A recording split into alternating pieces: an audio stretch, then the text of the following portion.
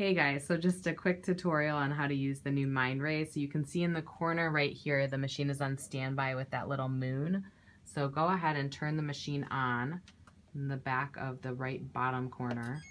So the machine's gonna boot up and it's gonna bring you to this screen. First, you're gonna put your patient info in. So click the patient button and then you're gonna use your barcode scanner to scan the patient ID in right there. And you can put the patient last name in as well.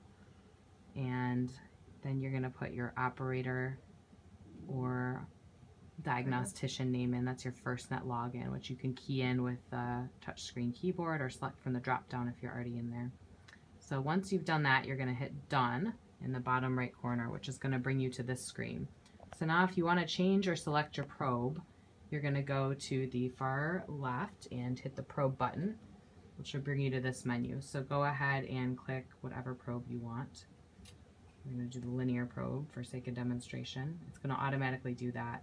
If you want to change your gain, you're just going to use a slide bar right here. So just sliding with your finger back and forth to increase or decrease the gain.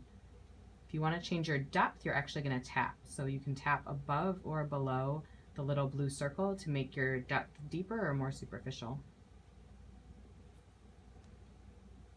To change to color mode, power Doppler, M mode, you're just going to click the little buttons on the right side of the screen right there. To save an image, you're going to hit freeze and save. If you want to save a clip, you don't have to hit freeze. You're just going to hit save clip. It's just like our Sonos it's going to do this prospectively for four seconds. So if you want to get into QPath, you're going to go up here when you're done with your study